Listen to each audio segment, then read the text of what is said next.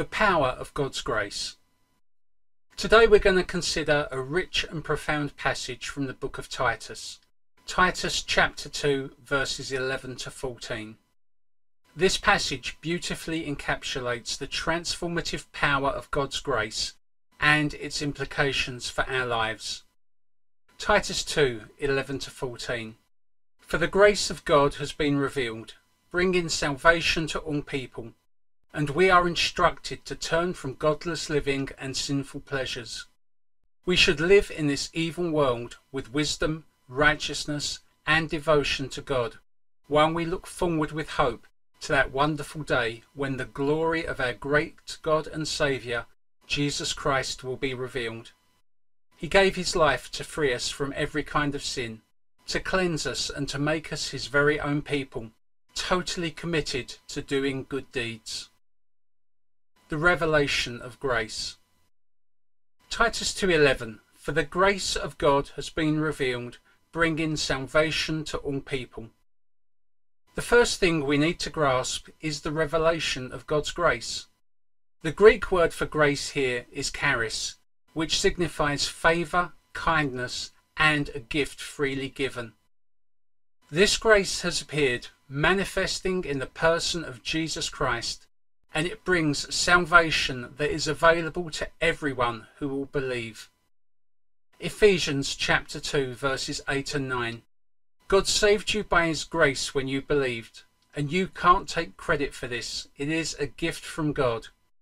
Salvation is not a reward for the good things we've done, so none of us can boast about it. Grace is unmerited favour from God. Imagine a prisoner on death row receiving a pardon he didn't earn and being set free. That's what grace does for us. It sets us free from the penalty of sin, and it's something that we don't deserve. John Piper said, Grace is not simply leniency when we have sinned. Grace is the enabling gift of God not to, to sin. Grace is power, not just pardon. The instruction of grace. Titus chapter 2 verse 12. And we are instructed to turn from godless living and sinful pleasures. We should live in this evil world with wisdom, righteousness, and devotion to God. Grace instructs us to renounce ungodliness and worldly passions. The Greek word for instructed is paidio, meaning to train or educate. Grace teaches us to say no to sin and yes to godly living. Remember Romans chapter 12 verse 2. Don't copy the behavior and customs of this world, but let God transform you into a new person by changing the way you think. Then you will learn to know God's will for you, which is good and pleasing and perfect. Grace not only saves, it also transforms. It's like a mentor guiding us away from destructive habits and leading us towards a life that pleases God. Imagine a personal trainer helping someone overcome unhealthy habits and adopt a healthier lifestyle.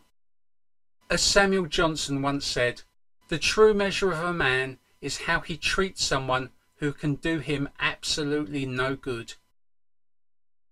The hope of glory. Titus chapter 2 verses 13 and 14. While we look forward with hope to that wonderful day when the glory of our great God and Saviour Jesus Christ will be revealed, He gave His life to free us from every kind of sin, to cleanse us and to make us His very own people totally committed to doing good deeds. Let's focus on the hope and future aspect of grace. The Greek word for hope is elpis, which denotes a confident expectation.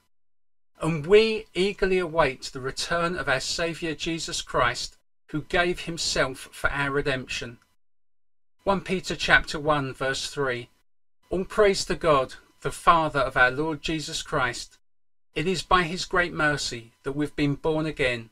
Because God raised Jesus Christ from the dead, now we live with great expectation. Grace gives us a glorious hope for the future.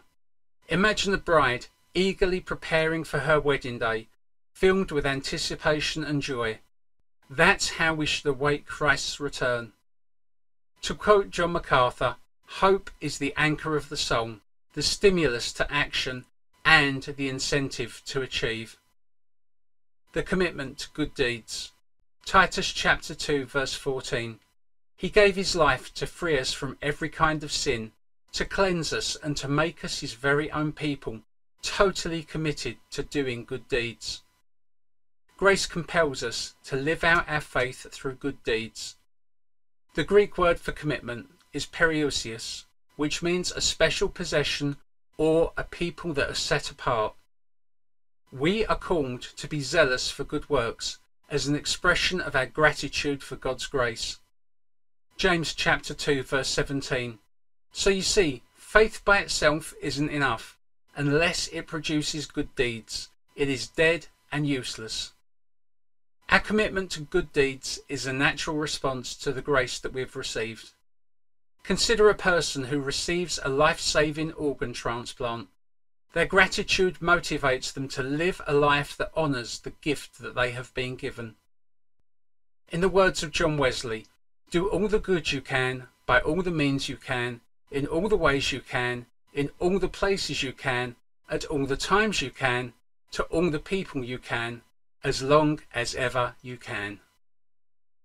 In conclusion, Titus chapter 2 verses 11 to 14 highlight the profound impact of God's grace in our lives. It reveals God's favour.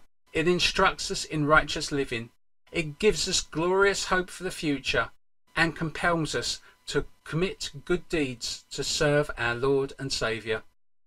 This transformative grace, it calls us to live differently, a life that is fully committed to God and serving our Lord and Saviour. This week, reflect on how God's grace has impacted your life. Are you living in the reality of His grace? Are you renouncing ungodliness? And are you holding on to the hope of Christ's return? Seek His guidance and let His grace transform every aspect of your life. Commit to doing good deeds as an expression of your faith and your gratitude. Let's pray. Heavenly Father, Thank you for the amazing grace that saves, instructs, and gives hope. Help us to live in the fullness of your grace, turning away from sin and embracing a life devoted to you. May we eagerly await the return of our Saviour and live each day in the light of that hope. In Jesus' name we pray. Amen. Friends, go forth this week with a renewed sense of God's grace in your life committed to living for His glory. May God bless you abundantly in all that you do.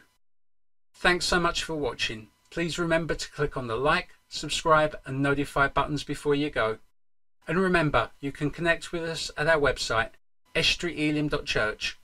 You can also listen to our audio podcasts on Apple Podcasts, Amazon Music or Spotify. May you be truly transformed by the Word of God. May God bless you and hope to see you again soon. Bye for now.